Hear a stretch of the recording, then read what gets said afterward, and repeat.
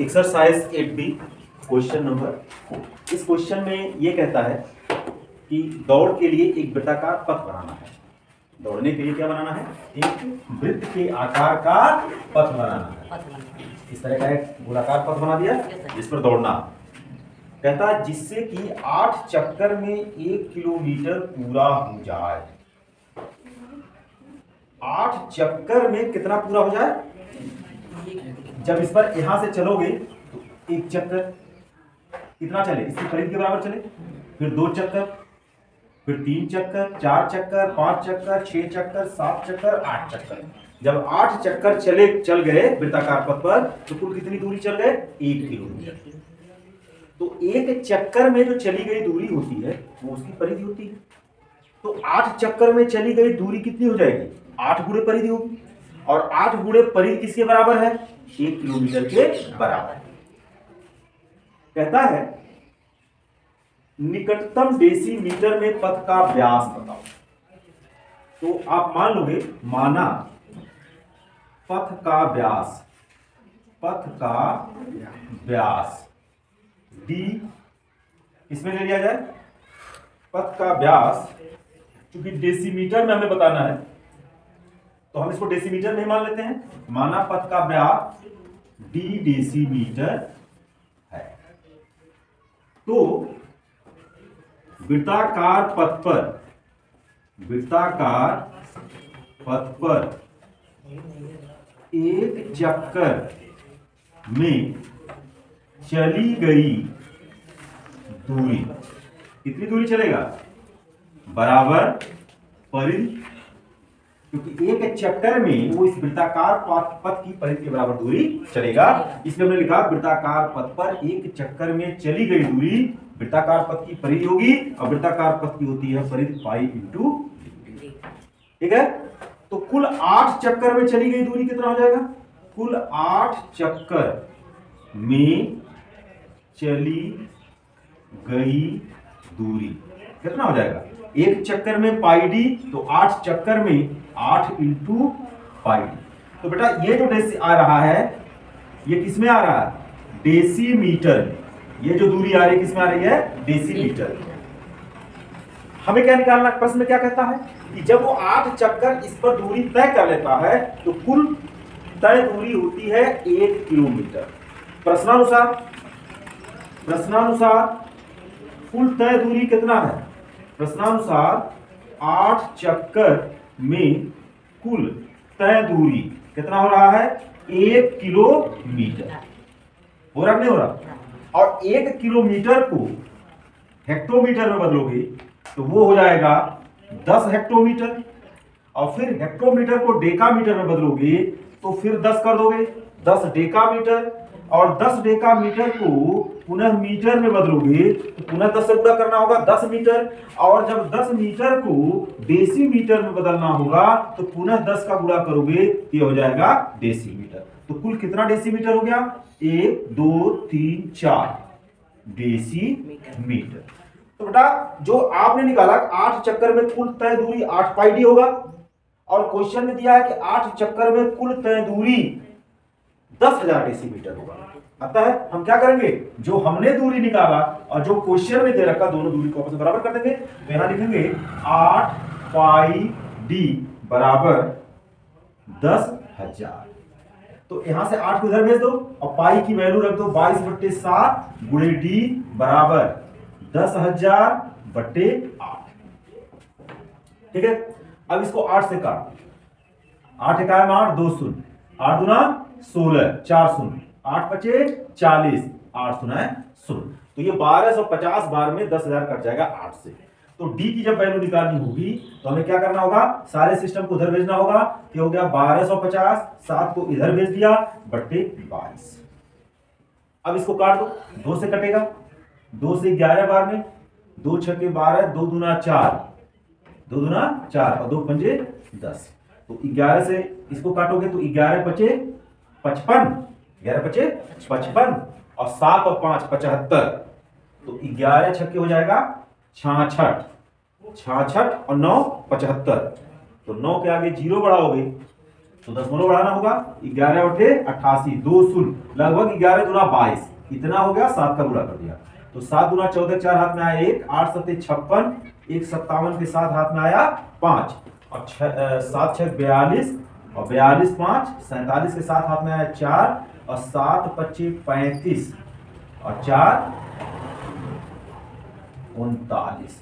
दो प्लेस पर हो जाएगा दस दशमलव तो उसका व्यास कितना हो जाएगा? इतना डेसीमीटर तो इसी को हम लिख सकते हैं लगभग लगभग तीन सौ अट्ठानवे डेसीमीटर इसी क्रम में इस एक्सरसाइज का next question question number five ये कहता है कि एक छाछठ सेंटीमीटर चांदी का तार है, छाछठ सेंटीमीटर लंबा चांदी का तार है, इस तार के बराबर नाप के दस छल्ले बनाने हैं। छाछठ सेंटीमीटर लंबा तार है उससे दस छल्ले बनाने हैं। और दसों जो छल्ले बनाने हैं, वो बराबर नाप के बनाने बराबर नाप के बनाने का मतलब क्या? बराबर नाप के बनाने का मतलब क्या हुआ? कि जो तार है, वो दस बराबर भागों बांट दो। और जो एक टुकड़ा पड़ेगा, एक टुकड़े की लंबाई पड़ेगी उससे छल्ला बना दो। तो छल्ले का क्या बनाना है? बताना व्यास तो देखो, तार की कुल लंबाई कितना दे रखा है? तार की कुल लंबाई दे रखा है छाछठ सेंटीमीटर। ये दिया ना? कितने छल्ले बनाने हैं? दस छल्ले। ठीक है? तो एक काम कर लेते हैं, हमको दस छल्ले बनाने ऐसे ऐसे करके। ऐसे ऐसे करके दस छल्ले बनाने अगर एक छल्ले का व्यास डी हो जाए तो इस छल्ले की परिधि कितनी हो जाएगी? पाई इंटू डी कुल कितने छल्ले बनाए? दस छल्ले बनाए। तो एक छल्ले का परिधि पता चल गया तो दस छल्ले की परिधि पता चल जाएगा। और दस छल्ले किससे बने हैं? इतने सेंटीमीटर लंबे तार से। तो उसको छाछठ के बराबर कर देना और हल कर लेना। तो लिखना, माना एक छल्ले का व्यास एक छल्ले का व्यास बराबर डी यहाँ सेंटीमीटर में दिया है तो सेंटीमीटर में लिख लो। तो एक छल्ले का व्यास हो गया। तो एक छल्ले की परिधि, एक छल्ले की परिधि बराबर हो जाएगा पाई इंटू डी अर्थात व्यास दिया तो इसकी हमने बाउंड्री अर्थात इसकी परिधि, जिस हमने इसको निकाला और ये जो परिधि निकाला, वो किससे बना है? इस तार की लंबाई से बना ठीक है? तो हमने कितनी छल्ले बनाए? दस। तो एक छल्ले का आपने परिधि निकाला। अभी आपको क्या करना होगा? दस छल्ले की परिधि। तो आप निकालो दस छल्ले की परिधि। तो दस छल्ले की परिधि निकालोगे तो इसमें दस का गुणा आ जाएगा। तो दस इंटू पाई डी जाएगा। ये बात समझ आ गई? तो दस पाई डी में एक पाई डी ए है, दूसरा पाई डी ए है, तीसरा पाई डी ए है, चौथा पाई डी ए ऐसे हमने दस पाई डी निकाल। और ये जो परिध बनाया, तार के छल्ले से बनाया सॉरी तार की चांदी के तार की से बनाया तो प्रश्नानुसार हम क्या करेंगे? हमारे अनुसार वो जो तार हुआ, उसकी कुल लंबाई दस पाई डी हुई, और वो जो तार की लंबाई है, वो छाछठ सेंटीमीटर, चांदी के तार की लंबाई के बराबर होगा तो लिखेंगे प्रश्नानुसार। प्रश्नानुसार। दस पाई डी किसके बराबर हो जाएगा? छाछठ सेंटीमीटर। तो ये दस को उधर भेज दो, पाई की वैल्यू यहाँ रख दो, पाई बट्टे सात into D is equal to छाछठ, और ये बट्टे हो जाएगा दस। तो जब डी की वैल्यू निकालोगे क्या करोगे? छाछठ गुड़े सात ऊपर चला जाएगा बट्टे बाईस। और गुड़े दस। तो बाईस से कटेगा ये तीन बार। सात त्रिक इक्कीस बट्टे दस। तो डी की वैल्यू कितना हो गया? दो दशमलव एक सेंटीमीटर ये हो गया एक छल्ले का व्यास। क्वेश्चन नंबर छह कहता है, पृथ्वी से चंद्रमा की दूरी अड़तीस हज़ार, तीन लाख चौरासी हज़ार किलोमीटर। यदि पृथ्वी के चारों ओर इस वृत्ताकार यदि पृथ्वी के चारों ओर इसका पथ वृत्ताकार हो तो चंद्रमा के पथ की परिधि बताओ। तो बेटा देखो, ये हमारा क्या है? पृथ्वी। पृथ्वी, और ये क्या है? चंद्रमा। इसकी हमेशा दूरी कहाँ से ली जाती है? केंद्र से। तो ये है तीन लाख चौरासी हज़ार किलोमीटर। ये दूरी है। अब ये कह रहा है, इसके चारों तरफ़ वृत्ताकार पथ पर क्या कर रहा है? घूम रहा है? तो हमसे पूछ रहा है कि चंद्रमा के पथ की परिधि बताओ। तो बेटा, यहाँ त्रिज्या कितनी हो गई? यहाँ त्रिज्या कितनी हो गई? त्रिज्या। इस वृत्ताकार पथ की त्रिज्या कितनी हो गई? तीन लाख चौरासी हज़ार किलोमीटर हो गई। तो चंद्रमा अगर वृत्तीय पथ पर गति कर रहा है तो उस वृत्ताकार पथ की परिधि बताना है। हम क्या लिखेंगे? चंद्रमा के पथ के परिधि। चंद्रमा के पथ की परिधि। क्या होगा? Two pi into R. हमने बताया था, पाई इंटू डी और डी की वैल्यू रख टू आर तो हो गया एक दूसरा फार्मूला टू पाई। ये हो गया परिधि। यहाँ हम लोग रखते हैं टू। पाई की वैल्यू हो गई बाईस बटे सेवन और आर की वैल्यू हो गई तीन लाख चौरासी हज़ार। नहीं हुआ? अब सेवन से इसको कट करो। सेवन वन जा सेवन सॉरी सेवन फाइव जा thirty five three four seven four जा twenty eight six zero seven eight जा fifty six four zero seven five जा thirty five five zero seven seven जा forty nine one zero decimal बढ़ा के। Seven one जा seven, three zero, seven four जा twenty eight. Seven one जा seven, three zero, seven four जा twenty eight. ये हो गया, ये सेवन से कैंसिल हो गया। बाईस गुना चौवालीस गुड़े पाँच, चार, आठ, पाँच, सेवन, वन, फोर। अब इसका मल्टीप्लाई करना है। Five, four, eight, five, seven point one four का फोर्टी फोर। हुआ? तो फोर फोर जा सिक्सटीन, चार चौक सोलह और चार इकायन चार। एक कैरी हो गया पाँच, सात चौक अट्ठाईस। दो, सात पाँच चौक बीस, दो बाईस के दो हाथ में आया, दो, आठ चौक बत्तीस, दो चौतीस के चार हाथ में आया, तीन, चार चौक सोलह।